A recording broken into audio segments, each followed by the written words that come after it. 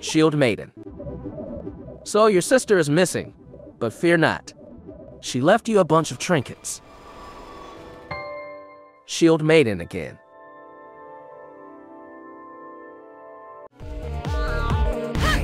This game is actually cool as hell.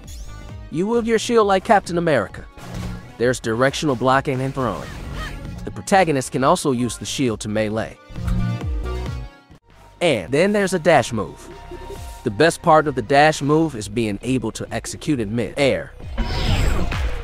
The art and animation in addition to thoughtful production bring this whole game together.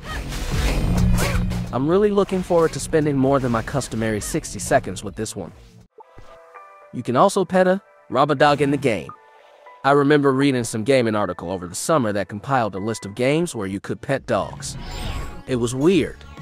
This gets a 9 out of 10.